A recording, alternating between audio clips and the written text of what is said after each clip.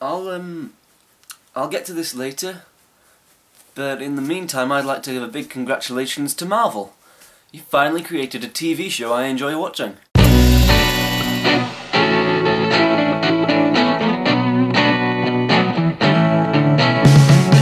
All 13 episodes of the new Daredevil series dropped on Friday, and I absolutely loved it. The story is very gripping and it keeps you wanting to come back for more. It's gritty and realistic in terms of the violence, and that realism really makes you feel everything that Daredevil feels, both physically and emotionally. It's a very cool introduction to Daredevil and the world he lives in, and it's great for people who are new to Daredevil like me. But what I think really makes this show come to life is the characters. Let's start with the main players, Matt Murdock, aka Daredevil, and Wilson Fisk, aka Kingpin. Matt is blind, but due to some radioactive stuff that he got in his eyes, all his other senses are heightened way beyond normal human capacity. So what does he do with these powers that he's gotten? Well, he roams the street at night beating up bad guys. Good for him. In the daytime, he also works as a lawyer with his best friend Foggy Nelson. And they are determined to be a moral lawyer firm who will always help the innocent through the law. Wilson Fisk works very well as an antagonist for the series. In the first few episodes, we don't actually see him, we only hear him mentioned or alluded to. And that works very well because it reflects the way that the character lives, staying back in the shadows, manipulating people from the darkness.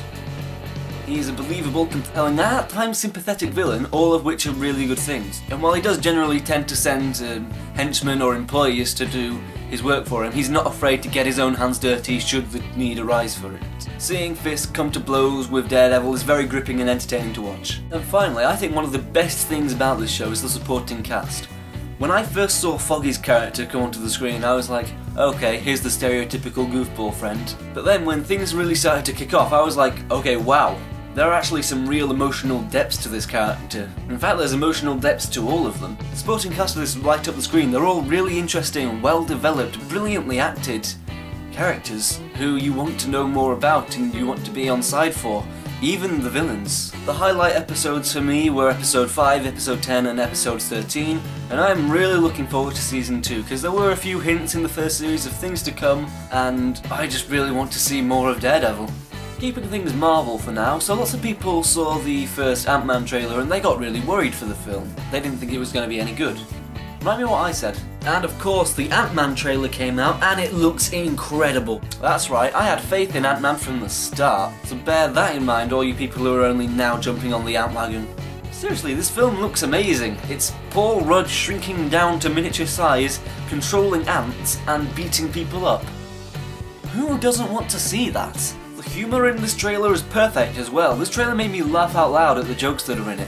MCU films in general have a comedic vibe going, and when you throw Paul Rudd in the mix, you know it's going to be a good time. Plus, the supporting cast are all very welcome additions to the MCU. I really like the look of Yellow Jacket, who will be the film's primary antagonist. Yeah, bet no one's made that joke before. Especially that bit in the trailer where they're fighting on a toy train track. That moment filled me with something that can only be described as delight. Ant-Man is so high on my list of anticipated movies right now, I cannot wait till it comes out. Speaking of second trailers, Terminator Genisys. Oh boy. The second trailer for Terminator Genisys has come out, and lots of people have been complaining that it gives too much of the plot away.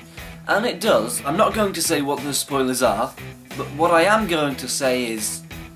What? That's the only thing I can think after watching this trailer. Just what? What is happening? I just... Th there are no words. There are no words to describe how ridiculous the story of this film looks. And we still don't know what Matt Smith is up to in this movie, although at this point it would not surprise me if he was actually playing Doctor Who and they did a crossover involving him having his time travel technology stolen by the Terminators and setting the whole thing off. At this point, I would not be surprised if that happened. With, with, the first trailer I was actually thinking, okay, I'll give it the benefit of the doubt and I go and see it. With this trailer, no. No, I don't think I'm gonna go see this film anymore. It's really quite a downer. Gonna have to go and watch the Ant-Man trailer again. Okay, now we come to this. Uh, yes, it's a Night's Watch cloak. I got it for Halloween last year, and I've been looking for an excuse to wear it again, and that excuse has come in the form of Game of Thrones Season 5. That's right, the series has now started, which means I'm going to have even more to say about Game of Thrones than I usually do. I'm going to be honest, there was nothing particularly outstanding about the first episode. I mean, it was fine, there was just nothing outstanding. Don't get me wrong, it was a great episode, enjoyable to watch. It's what you expect from Game of Thrones, you know. It was a good episode to get you settled back into it, to catch up with all the characters and show you where it might be going. The opening of the episode was the series' first flashback, which showed a young Cersei and her friend visiting a witch in the woods named Maggie the Frog. Maggie then predicts Cersei's future, saying that she will be queen for a time until someone younger and more beautiful takes her place. She also tells Cersei she will have three children. Gold will be their crowns and gold will be their shrouds, implying that Tommen and Myrcella might not be as safe as she would like especially Myrcella considering she's in Dorne and you know, with what happened to Oberyn and all that. Interestingly, there was a part of the prophecy in the books that they left out in the show about something called a Valonqar, which really drives Cersei's paranoia in the books. There might be a specific reason why they left that out, or maybe they just didn't want to do it, but the Valonqar is High Valyrian and it means the little brother which is more open for interpretation than you'd think at first. The whole prophecy is really open for interpretation, as is any prophecy in Game of Thrones. But enough about Cersei being a paranoid lunatic. Let's talk about the final sequence. The final sequence takes us back to the war with Jon Snow, Stannis, Davos and Melisandre, and Mance Rayder, the king beyond the wall.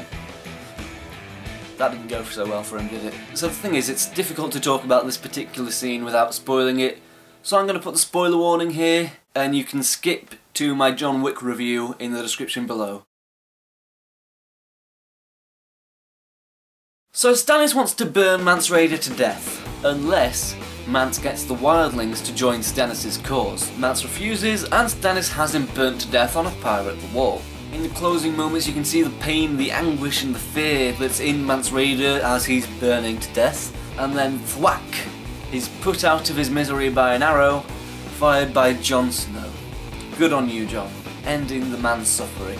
It's an important moment because Jon's character is developing nicely into someone who you could potentially see as a leader, and considering there is an imminent election for the 998th Lord Commander of the Wall, since Lord Commander Mormont got stabbed through the mouth, all in all, really good episode, I really liked it. It just didn't have anything particularly stand out, apart from maybe Mance's death scene. So, Theon Greyjoy has done some pretty bad things in his time.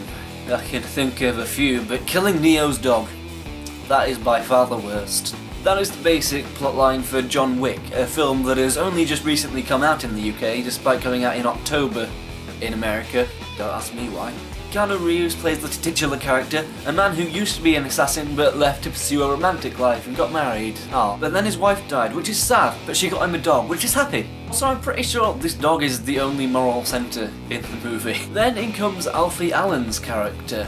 He comes into a petrol station driving a car with terrible music blasting from it, earning him the villain ranking of instantly unlikable, no redemption. So Alfie Allen's character, Iosef, kills John Wick's dog.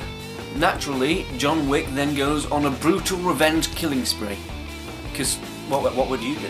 And if you haven't guessed already, this film is a very violent action thriller. So if you're not into those, it probably isn't the film for you. It's very fast paced and the action is almost non-stop. Then it worked. There are several scenes full of black humour because John Wick is a very famous, well-known assassin and he's got connections with all these important figures up and they're just nonchalantly okay with everything that's going down. Which is quite funny in a dark way. You can certainly empathise with the character of John Wick, and he's a guy you can root for. And this movie is a good time, though it's not without flaw. There were a lot of films that felt slightly off about this movie. The narrative jumps around quite a lot, and it goes from being an interesting way to tell a story to just being plain annoying. When there are two scenes that take place chronologically right next to each other, you don't need to intercut them. The dialogue was fine for the most part, though the swear words felt very injected and forced in there. It seemed like the characters were just swearing for the sake of having a film full of swear words rather than being anything to do with character development. Speaking of character development, there wasn't a great deal of that. First of all, everyone in this movie is essentially a villain. Some are just more villainous than others. Some characters are underused, some characters are overused, some don't need to be there at all. In addition, and this isn't a flaw per se, it's just slightly strange, when uh, the Russians are speaking and the subtitles come up, some of the words, seemingly random, are just bold and colourful for no apparent reason. But even with all of that that I just said, it is still a very enjoyable movie. It has moments that are reminiscent of Die Hard and the first Kick-Ass movie. I'll say this movie could have been better, but even so, it's a good time, it's a fun movie, and it does kick ass. So thank you for watching this episode of Big Screen Small Talk. If you liked it, like it. If you want to see more, subscribe. And if you've got an opinion on my opinions, or just the things I've been talking about, leave them in the comments below. Thanks for watching. Thank you.